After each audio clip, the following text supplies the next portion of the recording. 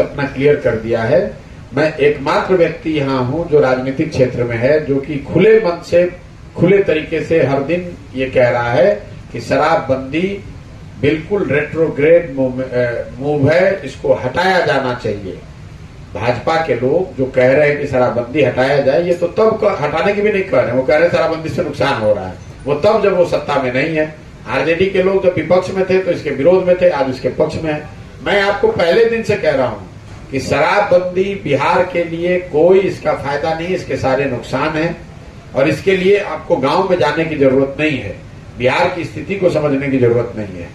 दुनिया भर में कोई ऐसा उदाहरण है नहीं जहाँ किसी राज्य ने, किसी देश ने, किसी समाज ने शराबबंदी के ज़रिए अपना सामाजिक, राजनीतिक उत्थान किया हो। दूसरी बात, लोग बताते हैं कि गांधी जी ने शराबबंदी की बात कही। तो वो बात भी सिरे से गलत है, मैं खारिज करता हूँ, कैमरे पर आपको चुनौती भी दे रहा हूँ, रोज बोलता हूँ। अगर आपने गांधी को किसी ने जो पढ़ा है, पढ़ने या समझने का दावा करता है, वो मुझे लाकर दिखा दे कि गांधी जी ने ये कहा कहा है कि सरकार को शराबबंदी लागू करना चाहिए। गांधी जी ने जीवन के कई वर्च्यूज की बात करी। उन्होंने ये कहा, आप वेजिटेरियन होना अच्छा है। उन्होंने ये नहीं कहा कि सरकार कानून बना दे कि जो नॉन वेजिटेरियन है उसको जेल में पकड़ लिए बंद कर दिया जाएगा। गांधी जी ने उसी संदर्भ में ये कहा कि शराब पीना बुरी बात है इस पर इस रोके जाने के लिए सर, समाज को प्रयास करना चाहिए।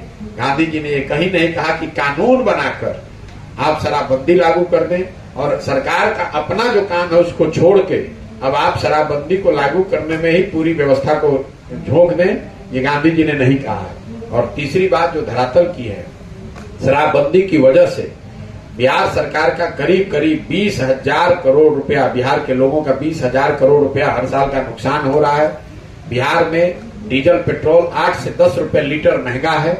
बिहार में जितनी निबंधन होती है, क्योंकि जो ये बीस हज़ार करोड़ रुपए का नुकसान हो रहा है तो आएगा कहाँ से? तो पेट्रोल, डीजल पे टैक्स सबसे ज़्यादा है। दस रुपए लीटर पे आप और हम ज़्यादा दे रहे हैं।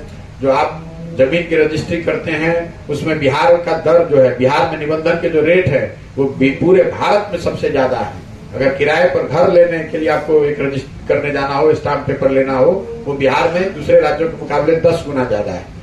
और ये बीस हज़ार करोड़ रुपया जो नुकसान हो रहा है, इसकी पार्षिक पार्शियल इसकी भरपाई हो रही है इन टैक्स के माध्यम से।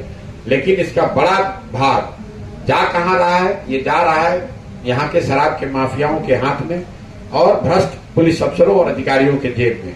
तो आपको आर्थिक सामाजिक कोई लाभ हो नहीं रहा है। घर घर शराब बिक रही है।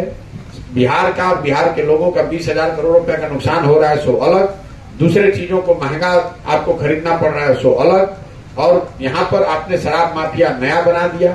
पूरा प्रशासन, पुलिस अपना काम छोड़कर शराबबंदी को लागू करने, हटाने, छिपाने उसमें लगा हुआ है। और सबसे दुर्भाग्यपूर्ण जो गरीब, असहाय लोगों की जो मृत्यु हुई है, गलत शराब शराब पीने से, उनकी खबर आप लोग रोज देख ही रहे छपरा की खबर तो एक खबर है। आप लोग को ज़मीन पर पता है इक्का दुक्का तो हर पंचायत में रोज, रोज़मर्रा की ये घटना है। पुलिस प्रशासन के दबाव में ये खबरें आती नहीं है, लेकिन मैं जब पैदल चल रहा हूँ तो देख रहा हूँ, हर पंचायत में लोग ऐसा बताते हैं।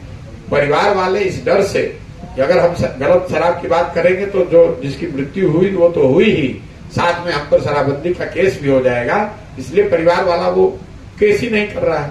ये तो रोज़मर्रा की बात है। और जिन महिलाओं के नाम पर शराबबंदी लागू किया गया है, हम लोग भी तो गाँव में जाकर महिलाओं से मिल रहे हैं। वो महिलाएँ इसके विरोध में है। सबसे ज़्यादा तो महिलाओं को ही परेशानी है। जो गरीब घर का आदमी अगर शराब के चक्कर में पकड़ लिया गया तो उसके घर की महिलाओं को थाने का, वकीलों का चक्कर लगाना पड़ता है। एक लाख से ज़्यादा लोग जिन पर फौजदारी के केस अलग अलग धाराओं में केस किए गए हैं, वो तो सारे गरीब लोग हैं।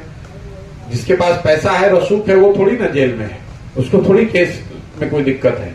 तो इसका कोई फ़ायदा नहीं है, बिल्कुल इसको हटाया जाना चाहिए। सर जन स्वराज की पद यात्रा के दौरान आपने जो मुख्य बात बताई कि बेरोजगारी पलायन मुख्य समस्या बनी है।